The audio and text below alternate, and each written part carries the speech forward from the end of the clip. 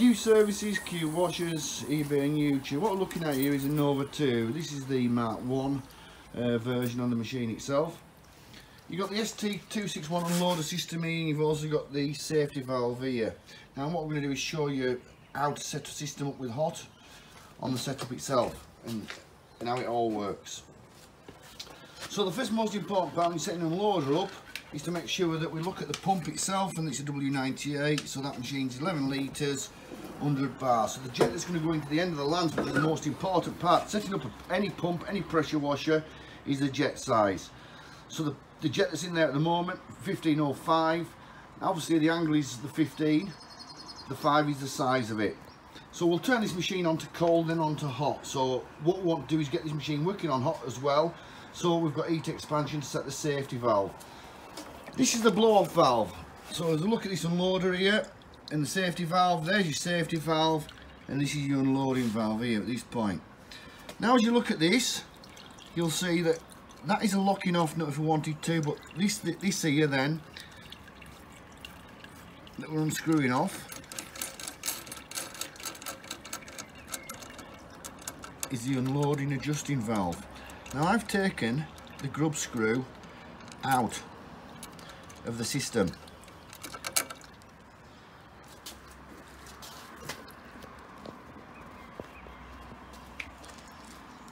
So the grub screw that would go in there, it means that we've got this system here that's fully adjustable now. And the little grub screw is there to lock it off afterwards. Now when this system is like it is at the moment, you've got your plastic part here. You've then got the unloader with a spring on. Now that there can also be adjusted so you can put another locking nut on there so it means that when you set this unloader it doesn't overpressure by putting another locking nut on. We're not going to go to that trouble we'll just set it up as normal. So plastic part and what we're going to do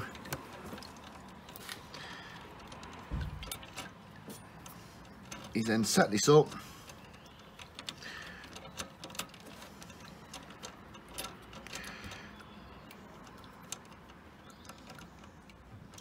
and I'm just going to put the grub screw in. There's flat sides on the on the face of the brass part. So what we'll do is make sure that's lined up to the brass part which is there. We'll then just lock that off a second. The reason why I'm doing it this way is because you'll see why. So as I tighten that back down now you'll see that brass part is only going so far on to that locking up to that nut.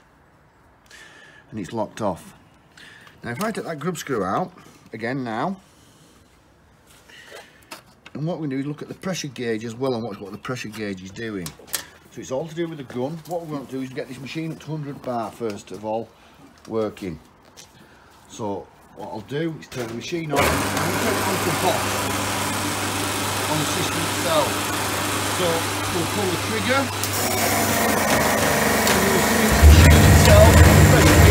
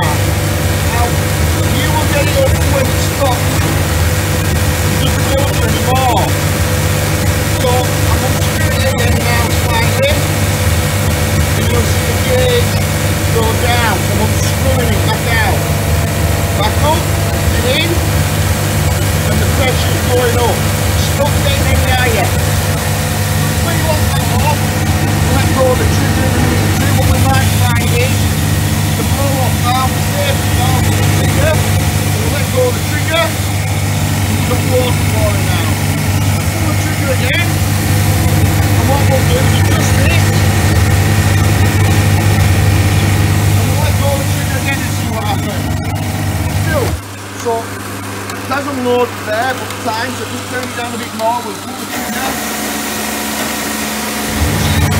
Right, it's on hot. There's no water leaking from there. Let go. We've got a slight drizzle, so that's safety valve wants to go down a little bit more, especially with heat. So again, we'll pull the trigger. So let go of the trigger. We've got a slight spur. Now, obviously through patches and places, this would normally go into this point here, or go down onto the floor. So I still need to turn that ever slightly, a little bit more. And we'll go again. We'll let go of the trigger. We've got still a slight spurt, so I'm just going to give it that a little bit more.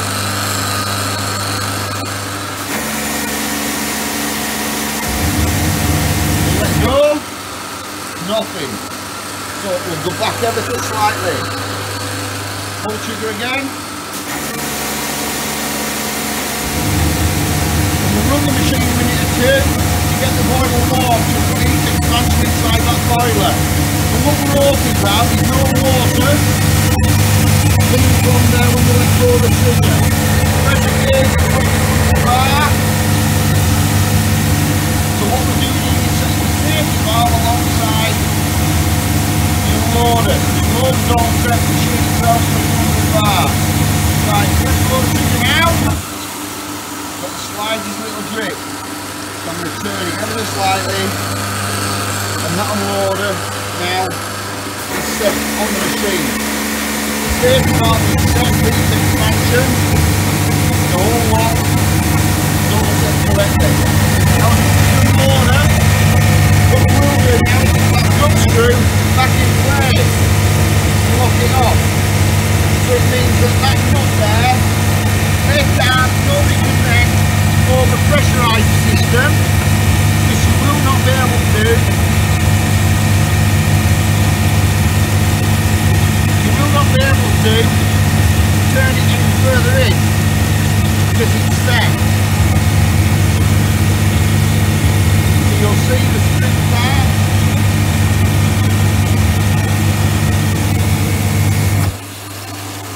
Machine, the water set, pressurised set, all delivery speed. Thank you. Q Services, Q Washers, eBay and YouTube.